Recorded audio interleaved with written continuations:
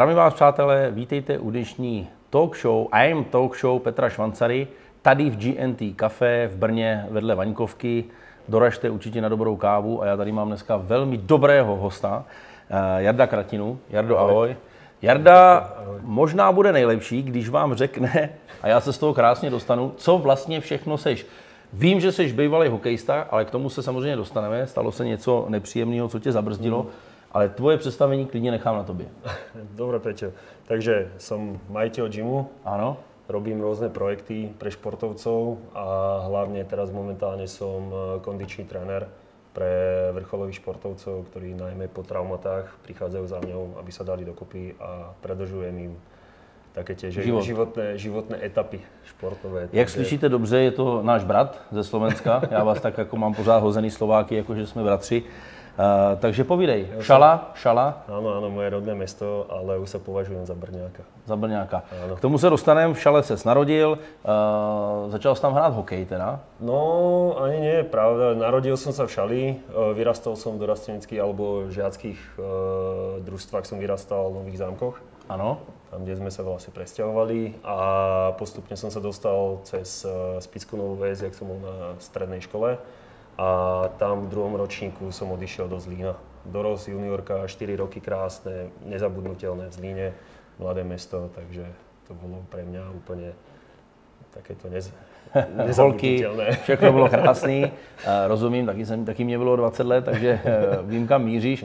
Ale pojďme eh, přeskočit eh, vlastně ten dorost a, a ty věci kolem, kde už se to možná i pro tebe bylo téma hmm. profesionální možná hokej, ano. Uh, možná i daleko víc peněz, tak se stalo něco, co ti asi změnilo určitě, můžeme to dneska říct, život hmm. uh, v tom, že přišlo zranění. Áno. A ono všetko má byť tak, jak je a ono to zranenie, zranenie buď to človeka posunie ďalej, sám dobre vieš, buď to posílí, alebo keď sa to opakovane stáva, tak už to ten šport viac bere, ako dáva, tak už človek si hľadá trošku iné, iné, iné východiskové cestičky a, a snažíme sa nejako dostať z toho, ale uh, nelutujem, absolútne z toho nelutujem, po troch operáciách ramien už to nešlo a tak som začal, um, som si povedal, že začnem študovať. To je právě to, co se chci bavit. Ty to bereš jako celkem automatickou věc. Mm. Já to z toho fotbalu mám trošku jinak. Ty kluci se nechcou moc jakoby někdy uh, ono, smířit s tím, že z toho sportu jakoby vypadli a ty se rozhodl vystudovat vysokou školu. Ono je to dosť ťažké, lebo človek odozdáva, ja nie som typ človeka, ktorý nejako po nejakom nezdare niekde uteká, ale snažím sa byť v tom týme v jednom a zrazu keď uh, máš teší sa, že príde slovenský tréner a ťa podrží a zrazu ti povie, že mm, 9. septembra nemáš miesto v týme. Mm. Teraz mladý chalán, 20 ročí, sedí, sedí niekde doma všetky kádre uzatvorené a teraz čo? No to je právě to, to že, je, že to já tě obrovský smekám klobouk, že se rozhodl jít prostě tou cestou si udělat nejdřív tu školu. Povídej, co to bylo za výšku? O, je to fakulta telovýchovy a športu v Bratislave, tréner a učitel ľadového hokeja a to je ďalšia krásna etapa môjho života. Tak ale cítil jsi, eh, že, je to... že to něco k tomu, co chceš dělat dál, že, že teda se odprostíš je své lásky toho hokeje, Áno. Eh, že ta výška bude potřebná k tomu, aby si mohl dělat něco dál. Ono, tá vysoká škola ani nie je potrebná, môžem povedať, ale ďalšia tá vec ohľadom toho vzdelávania sa, ale niekde napredovania, lebo ja som potreboval sa niekde posunúť. Ja ako športovec potrebujem mať cieľ.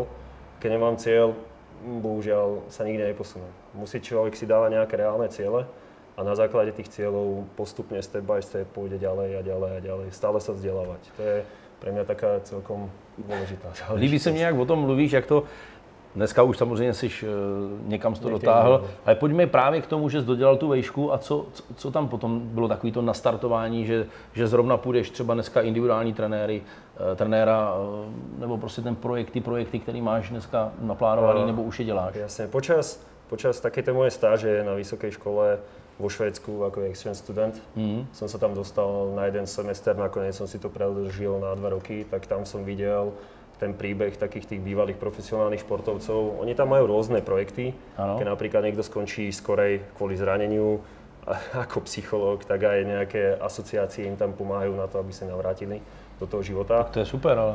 Výborná vec. Uh, tí, povedzme, partneri tých, tých, vlastne tých hokejových klubov alebo takí tí, ktorí im dávajú finančné prostriedky a sa snažia napríklad tých hráčov začleniť do ich takých tých uh, pracovných činností a dávať im šancu.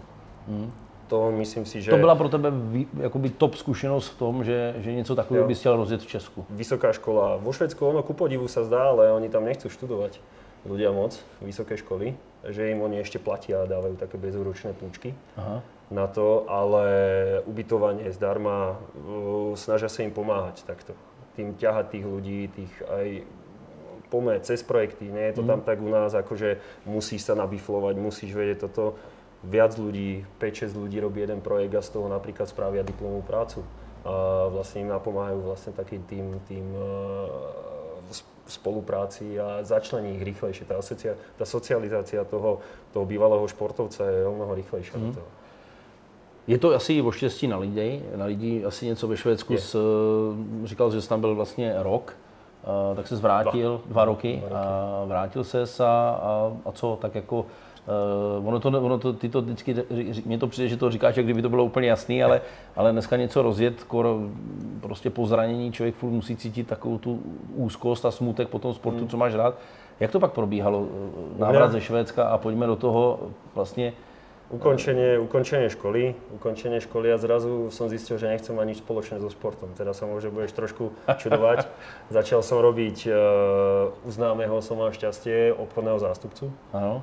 Proste som Jakým nechcel... oboru? Jakým oboru? Uh, Môžeme smart, říct cokoliv. Smart Technologies. Jo. Som učil učiteľov, ako učiť na interaktívnych tabuliach. Áno. To je asi jediná vec, ktorú Braňu potreboval človeka, lebo on dobre vie zo šatne uh, dávať ti takú tú retoriku, tú schopnosť mm, komunikácie mm. s tými ľuďmi na výbornej tejto úrovni a využíval som to, ale ten šport, začal som, ľudia ma vlastne oslovovali, či im nechcem pomáhať ako tréner mm-hmm. čím nepomôžem s týmto a to. No ja som si chodil cvičiť. Byli to zrazu... väčšinou ako profíci nebo amatéri? Nie, nie, nie, to boli ľudia, ktorí si okolo mňa pohybovali mm-hmm. a zrazu on chcel povedať, ako prosím ťa dostanem toto sem.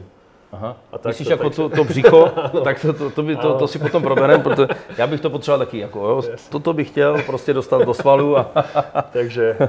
Takže takhle to vzniklo, že, že kamarádi nebo přátelé? No, začalo to tak, že jo, jo, jo, pomôž jo. mi Jarino, Mm. Športoval si, ja som sám som sa staral o seba, snažil som sa dávať dokopy vlastne po tých zraneniach a tak, mm. fyzioterapeutické veci. Aj na tej fakulte, ako funkčná anatómia, anatómia, všetky tieto proje, tie predmety, čo sme museli absolvovať, mi dávalo taký ten rozhľad, že ak funguje to telo. A výborná vec, ako každému odporúčam študovať takéto biologické vedy. Vôbec a, neviem, vôbec neviem. Nie, je to, úplne iný rozmach to dostane. Ja napríklad strašne mám, e, strašne mi vadia víkendové školy uh-huh. trénerov. Uh-huh. Stretol som takých tých trénerov, ktorí proste spraví, že jeden víkend vypočuje si také tie základné veci a druhý víkend už je tréner. Jo, uh, ne, tak jo, to nefunguje. Jo. Že má ten jenom papír a je spokojený a už na základě toho. Áno, mm, a mm. ja sa stále učím. Stále sa učím vždy, ten hráč príde s niečím novým za mňa. Ale čo hľadať, keď boli treslo, mm, väčšinou to není v treslu, je to niekde buď brušné svalstvo, záda, hokejisti, panva úplne inak vytočená. To sú, to sú také veci, ktoré každý človek má iné herné návyky, hier, e, proste disbalancie svalové a potom tie zranenia prichádzajú úplne, úplne takto, že spraví zlý pohyb a, a už to píchlo. Takže na základě i těch uh, trénování vlastně vznikl projekt uh, gymu? Áno, áno, áno, presne. To sme sa dostali k tomu, že ja som sa, jak som prišiel do Brna, e, to je potřeba říct, e, že vlastně sice se ze Šali a, samozřejmě slyšíme, že Jarda je Slovák, tak je tady dlouho už v Brně a já jsem rád, že jsi Brňák, protože, ne, že se ti Brno líbí, protože já jsem čisté Brňák a mě to dělá vždycky radost. Musí byť. Brno, Brno mám vo všetkom, v každom názve. Mm. Strašne sa mi páči taký ten, taký ten nechcem povedať nacionalizmus vlastne v tom Brne, ale ten je zdravý, ten je super. No, jsme trošku jiní, ale, ale jmenuje se to teda Elite Gym Brno. Áno. Takhle to říkám dobře, tak pojď nám to trošku... Elite Gym Brno, začínali sme, uh, vo Švedsku som si donesol crossfit zo mm. Švedska. Videl som, že hokejisti začali trénovať trošku inak, jak my. Mm-hmm. Nie je také, že beháme kopce a keňania a, a teda, a teda, ale oni už mali iné. Fínska príprava, práca s činkou, spieranie nádherné, rozsahy pohybu. Takový la, lana, ne? Áno, lana, no, to, lana, to není ono úplne? No, lana je taký doplnok, to je taký efektné, to je, že to vyzerá uh-huh. pekne, ale, ale... A je to, je to vlastne práce se svým telem? Áno, je, je to, to tak? Atletika, spieranie. Posilovanie ze svým áno. Atletika, spieranie a gymnastika. Gymnastika je jeden, podľa mňa ja si myslím, že to je jeden z najúžasnejších športov, aký existuje. Ako v príprave takých tých, povedzme, môžeme niekde Číňania už sa venujú, že v prenatálnom období, ako oni hovoria, že už ešte v bruchu, že začínajú nejaké také tie aspekty a dostáva sa to cez tie malé deti. Síce 21 končia e, na olympiáde, že sú úplne vyhorení, ale vedia krásne pracovať s tým, s tým takí tí atleti a tí gymnasti a všetko. Neviem, atletika, gymnastika, spieranie, podľa mňa to sú základné cviky alebo základné odvetia športové, ktoré sú základom každého Mhm. športu. Každého. Kde se nachází Elite Gym Brno? Elite Gym v Brne, oproti vojenskej nemocnici. Oproti Áno. vojenskej nemocnici tam máme takú základňu. Mhm. A už to není môj gym, už je to gym ľudí. Už to je tak, že ľudia tam chodia socializovať sa, cvičia, pokecajú sa, stretávame sa. Nádherné prostredie. Je to, co tě uh, strašně jako, jsi na to pišnej? Som, som.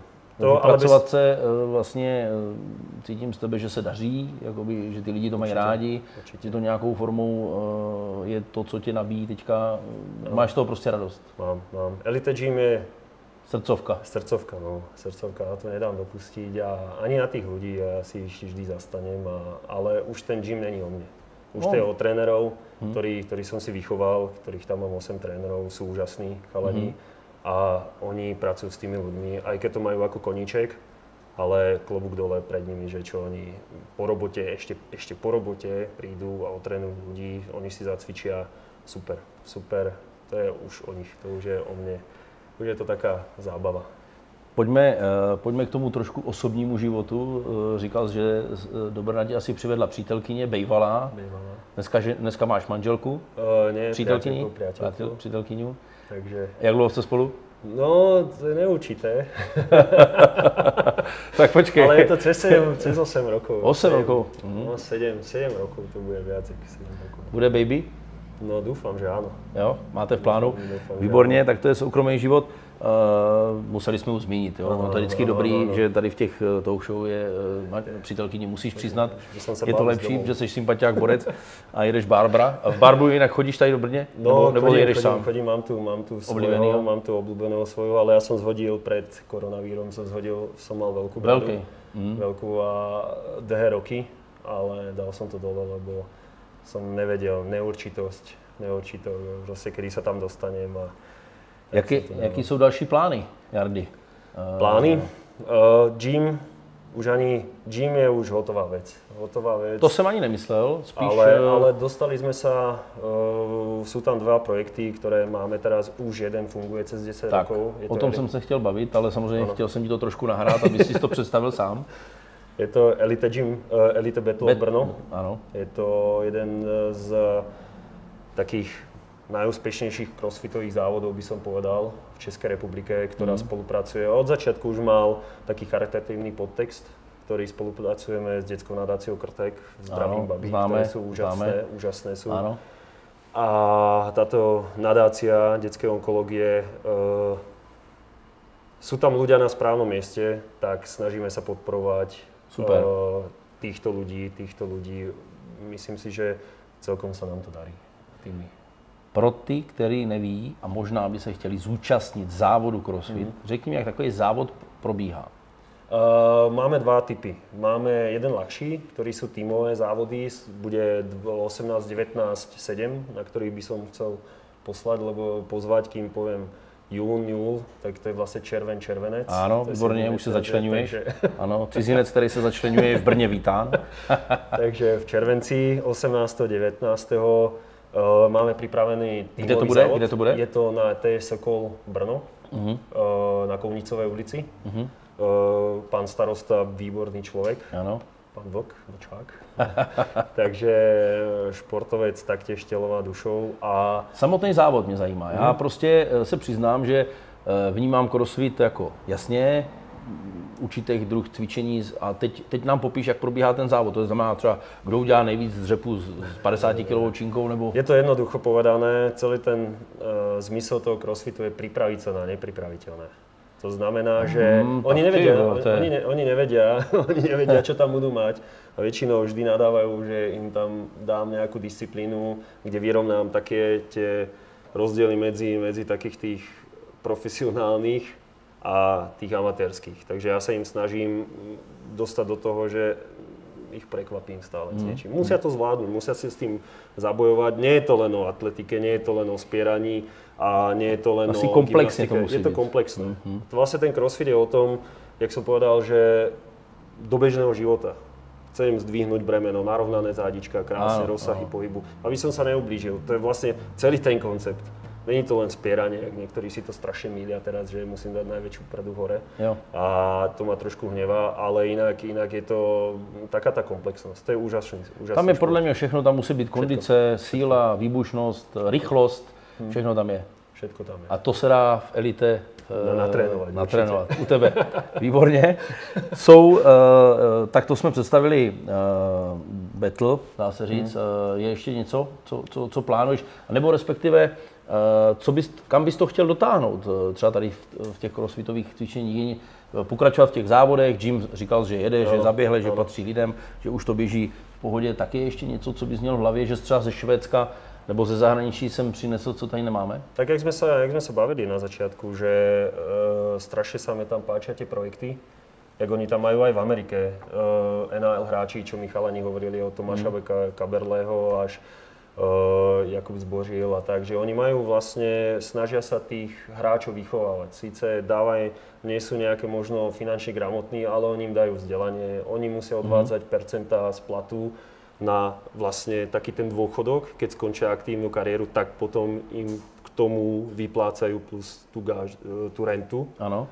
A to tu chýba, to tu chýba. Je tu duálna kariéra, môžem to povedať, že Olympijský výbor si ide na svojom a ja som to aj písal v mojej diplomovej práci a za tým si budem stáť, že kašľú na takých normálnych športovcov a používajú len, aby sa odprezentovali, aby splnili také... jo. Je to jenom takový PR, jo? Je to také PR.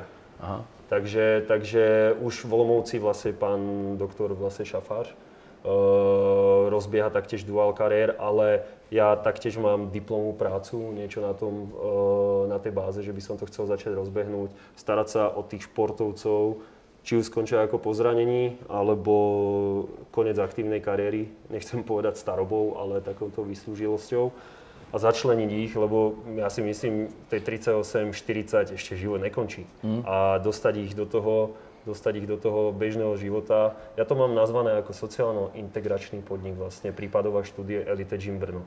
Takže je to vlastne sociálny podnik, kde budeme vlastne chalani buď cez úrad práce sa nahlásia Aha. a budeme vlastne, chceme spolupracovať s nimi cez úrad práce, dať im. E, záleží na tom, ktorý, ktorého zamestnávateľa nájdeme k tomu budeme rok ho pripravovať na to, aby dostal e, buď OSVČ, alebo nejakú SROčku. Tomu pomôžeme, máme známych, ktorých vlastne ich budú vyučovať k tých, tejto gramotnosti, potom finančná gramotnosť a potom tá dálna špecializácia, kde budeme chcieť. A ja si myslím, že to je, aj verím v tom, že títo chalani to využijú. Mm-hmm. Najhoršie je to po tej skončení kariéry, teraz čo?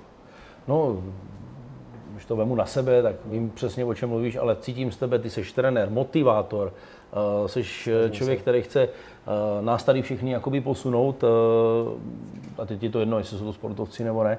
Já mám největší problém po té kariéře, že se mi nechce. A má, umí, máš na to nějaký lék? Těm, co třeba skončí fotbal, hokej, házená, florbal třeba, Uh, už se nám nechce tolik trénovat a teď mě pozví k tobě, abych jako měl ten důvod k tobě jít, jo? To ja napríklad z mojej skúsenosti hovorím, ja musím cvičiť, aby som sa mohol hýbať na ďalší deň. Abych měl trošku tu...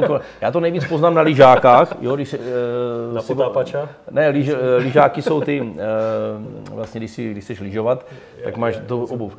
A já přes to břicho uh, vždycky poznám, jestli jsem přibral nebo ne. My to voláme, že potápač, vieš? Jo, potápěč, jo, takhle. Sa a Jo, tak teď jsem to pochopil už. Tak to je super. Ty, já bych potřeboval nějakou motivaci k tomu, abych eh, toho nenechal. Počkej, jídlo, jo, další věc. Eh, Předpokládám, že i tohle je v tom repertoáru. Životospráva jako taková. v tomto mám trošku mezery. Kto ma pozná, tak tá životospráva... Ja Není? Sa, no, je, je. Ty musíš jít dostatočná. příkladem trošku. Ako áno, ale ja som sa narodil, aby som jedol. Jo, To tak je to máme jediná, stejné. jediná vec v živote po mojej priateľke je to, že no, mám strašný dobrý pocit z jedla. Když jsme u toho jídla, je to moje obligátní otázka. Vaříš? Uh, áno, áno, ale väčšinou moja priateľka. Jo. Uvarím všetko.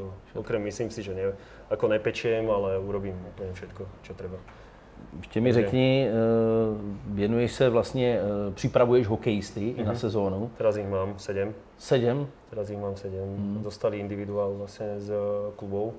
Boli minulý rok dobre pripravení, tak dostali dôveru aj teraz. Jak, dlou, jak dlouho ten proces probíhá? Uh, Protože vím, že já se znám velmi dobře s Kubou Voráčkem a, a s klukama a vím, že oni, oni prostě přijedou se na L, mají tady třeba dva měsíce jako úplně totálně free, dá se říct, že to, tomu dají zabrat tomu Ano, tělu ano, ano. a pak prostě dva měsíce fakt makají, jako jo, a to je teda dřína jako hodně, ale jak to děláš ty? No. Jestli je to tak, tak mě to Ono, zajímá. ono, teraz ja mám letnú prípravu pripravenú na 10 týždňov.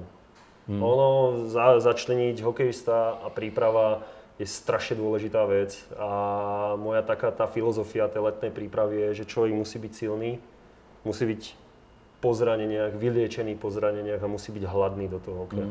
Toto keď je po letnej príprave, uh, keď nie je hladný na ten hokej, je tam niečo zlé. Keď je unavený, keď je strhaný, to sa nerobí. Dáváš jim víkend volnej třeba? E, Áno, áno, určite áno. Ja som zastanca toho, že sa trénuje raz denne, Jo. ale, ide Ale sa, dvě hodiny ale, a jede ale ide se- sa naplno, ide a chalani, chalani dostávajú zabrať. Teraz prichádza akorát 6. týždeň, ktorý im dávam voľnejší. Už začneme chodiť na atletický štadión a dostávame sa do submaximálnych váh, takže je to do tej silovej časti ideme. Ono tam tá letná príprava hokejistu strašne, strašne špecifická. To je futbalista, je to musí byť, už aj teraz je taký trend, že viac menej začínate trénovať vlast, vlastne individuálne a potom sa stretnú chalani na, na tréningu. Je taký trend. Áno, každý mu vyhovuje inak ten tréner, každý má iné potreby a ja si myslím, že týmto by sa mal uberať aj ten hokej. Mhm. Uh, v NHL je to krásne. Nie si pripravený? Nazdar. No to, přesně tak. Tak to si myslím, že mi to i Kuba Takže- Voráček právě říkal, že tak Ano. nějak jako, že musí dojít připravený. Musí, Od musí. toho seš tady ty, Áno. aby si nachystal. Áno, Tomáš Kabrla mi úžasnú vec mm. rozprával. Chcel by som, aby sa to dostalo aj k nám, že napríklad, že on má 3 mesiace prípravu, mm. zaplatí 13 tisíc dolárov trénerovi, ktorý sa mu pos- postará o jedlo, o vybavenie, mm. o vlastne ten, ten Jako jedlo, jako že totálny. mu i vaří a všechno. Všetko, no neviem, či ten tréner, ale má na to takých Jasne, špecialistov. A mne by sa takto páčilo, taktiež to dať. Ale zase bohužiaľ tie finančné prostriedky tých hráčov niektorí nie sú Jasně. až také, aby si to mohli dovoliť.